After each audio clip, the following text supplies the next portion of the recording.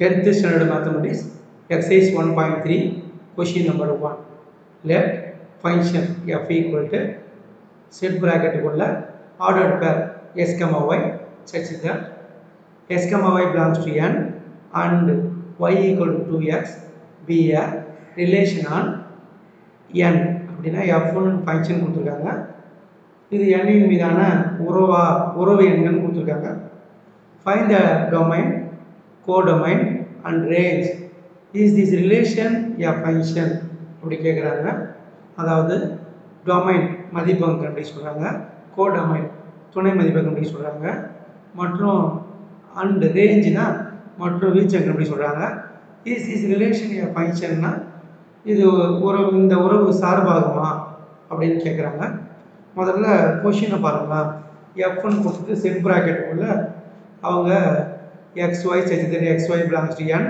and Y equal to two X கொடுத்துருக்காங்களா இதை அப்படியே பார்த்து எழுதிக்கணும் சொல்யூஷனில் இது செட் பில்டர் ஃபார்ம் இதை அப்படியே கிவன் போட்டு எழுதிக்கணும். கொடுக்கப்பட்டுள்ளவை.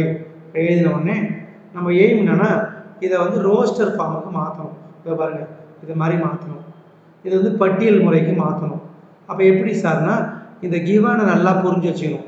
இந்த செல்ஃப் பில்டர் ஃபார்மை நல்லா புரிஞ்சு வச்சுக்கணும். ஆர்டர்டு பேரில் எழுதணும். எஸ்கமா ஒய் இது மாதிரி எழுதி போனோம். எக்ஸும் ஒய் பிலாங்ஸ் டு என்ன? நேச்சுரல் நம்பரில் ஏழு என்ன இருக்குமா? எக்ஸும் ஒய்யும் நேச்சுரல் நம்பராக இருக்குமா? நேச்சுரல் நம்பர்னால் நம்மள எல்லாருக்கும் தெரியும். ஒன் டூ த்ரீ இதெல்லாம் நேச்சுரல் நம்பர் அப்போ X value natural number Y value natural number ஆனால் ஒய் ஈக்குவல் டூ எக்ஸு அந்த ஈகேஷனை யூஸ் பண்ணி ஒய் வேல்யூ கண்டுபிடிக்கணும். ஸோ அப்போ இதை நம்ம கண்டுபி ரோஸ்டர் ஃபார்ம் கண்டுபிடிக்கலாமா? பட்டியல் பட்டியல் முறை கண்டுபிடிக்கலாமா? ஈஸியாக கண்டுபிடிக்கலாம். இப்போ நான் எக்ஸும் ஒய்யும் நேச்சுரல் நம்பர் சொல்லிட்டாங்க நான் எக்ஸுக்கு ஒன்று எடுத்துக்குவேன் பாருங்கள் எக்ஸுக்கு ஒன்று எடுத்துக்குவேன். அப்போ எக்ஸுக்கு ஒன்றை எடுத்து போயிட்டு ஒய் ஈக்குவல் டு டூ எக்ஸில் எக்ஸை வந்து சப்ஸ்டிட் பண்ணோம்னா ஒன் இன்ட்டு டூ டூ கிடைக்கும். ஒய் ஈக்குவல் டு டூ கிடைக்கும்.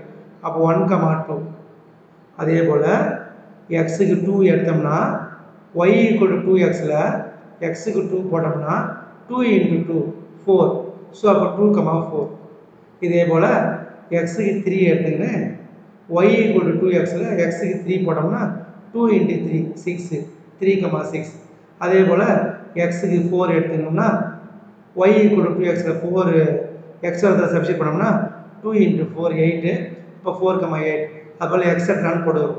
இப்போ நம்ம என்ன பண்ணோம்னா செட் பில்டர் ஃபார்மை ரோஸ்டர் ஃபார்முக்கு எடுத்து வந்துட்டேன். இனி ஈஸியாக புரிஞ்சிடும். கோ டொமைன் டொமைன் இந்த சம்மை பொறுத்த வரையும் ரெண்டு ஒன்று தான் இப்போ ஆர்டர்டு பேரில் ஃபஸ்ட் நம்பர் மட்டும் எடுத்து எழுதுங்க. ஒன்று டூவு த்ரீ இது மாதிரிலாம் எடுத்து எழுதுறோம் இல்லைங்களா? இதை வந்து மதிப்பகம் டொமைன் அதே தான் நம்மளுக்கு கோடமைன் எழுதியாச்சு. ரேஞ்சுனா இந்த ஆர்டர்டு பேரில் இது எக்ஸ் ஒய்னா ஒய் மட்டும் எடுத்துக்கிறது. அதாவது இந்த ஆர்டர் பேரில் ரெண்டாவதாக வருது பாருங்கள் செகண்ட் நம்பர் மட்டும் எடுத்துக்கணும். டூவு ஃபோரு சிக்ஸு எக்ஸட்ரா இப்போ டொமைன் கண்டுபிடிச்சிட்டேன் கோ டொமைன் கண்டுபிடிச்சிட்டேன் ரேஞ்சு கண்டுபிடிச்சிட்டேன். அப்புறம் என்ன கேட்குறாங்கன்னா is this relation a function இந்த உறவு சார்பாகுமா? கேட்குறாங்க அதுக்கு டயக்ராம் மூலிமா உங்களுக்கு எக்ஸ்பிளைன் பண்ணால் ஈஸியாக இருக்கும்னு சொல்லிட்டு நான் நம்புகிறேன் ஸோ அப்போ நான் வந்து ஏன்னு ஒரு செட் எடுத்துக்கிறேன். ஏ செட்டில் நேச்சுரல் நம்பர் சொல்லியிருக்காங்க. ஒன் டூ த்ரீ ஃபோர் அது மாதிரி எழுதிட்டேன். டயக்ராம் எக்ஸாமில் போட்டு தான் ஆகணும்னு கிடையாது. உங்களுக்கு புரிய வைக்கிறதுக்காக. அதுபோல் B settle one two three four five six seven eight extra அது மாதிரி எழுதிக்கிறேன். இப்போ மேப்பிங் பண்ணுறேன் ஒன் கமா டூ ஒன்னை வந்து ஏ செட்லேயும் டூ வந்து பி செட்லேயும் நம்ம மேப் பண்ண முடியுது. One two two correct two two four அதே மாதிரி டூ டூ ஃபோர் அது போல் three two six three two six அது போல் ஃபோர் டூ எயிட் அது போல் நம்ம கன்ஃபியூஸாக மேப்பிங் பண்ணி போகலாம்.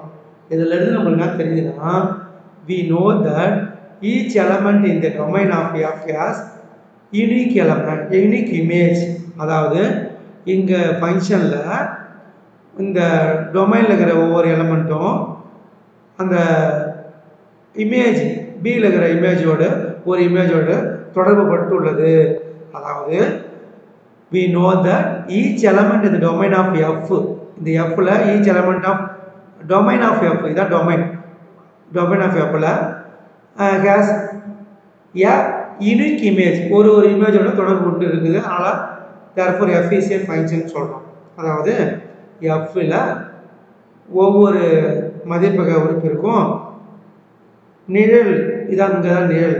நிழல்னா இந்த இடத்துல ரெண்டு நாலு ஆறு எட்டு.